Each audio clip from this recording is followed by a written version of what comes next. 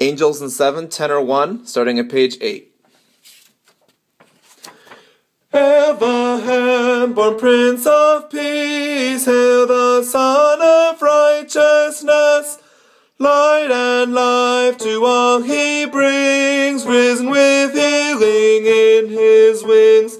Mild he lays his glory by, born that born to raise its child of earth, born to give us a second birth. Hark the herald angels sing glory to the newborn King.